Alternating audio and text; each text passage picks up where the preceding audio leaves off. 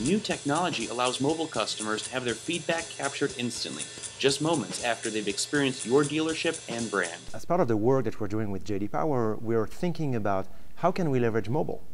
For example, how can I intercept a consumer when he's leaving a dealership?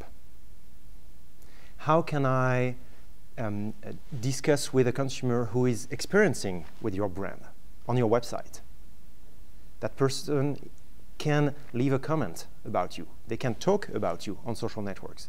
How can I, as a market researcher, collect all that information? There's multiple ways to do that. We can survey people um, using their cell phones, so they can be member of panels, for example, and they can be on a panel and um, and, and they can have their cell phone with them, and we can ask them, okay, we just see that you are at this location.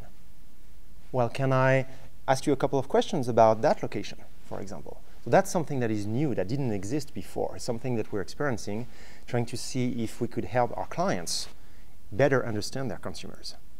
Because it's not about um, being able to send a survey after a transaction, but it's about the upper funnel experience. Can I intercept a shopper before he is going or she is going to interact with my brand? So, for example, um, I am at a retail store I don't know if I'm going to buy or not, but I'm there. I'm already experiencing with your brand. I'm already talking to your clerk. I'm already talking to the people on the floor.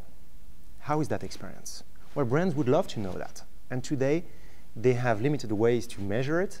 So what we see is in the overall economy, in the overall um, um, industry, we see that there is um, a huge trend towards intercepting those consumers and, and, and, and being able to, to, to get their feedback as quickly as possible.